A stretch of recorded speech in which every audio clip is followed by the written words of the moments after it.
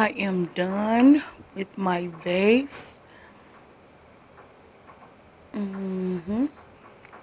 This is it, y'all. Shine so bright. Yes. Now I'm about to put something in it. Mm-hmm. Be back with you.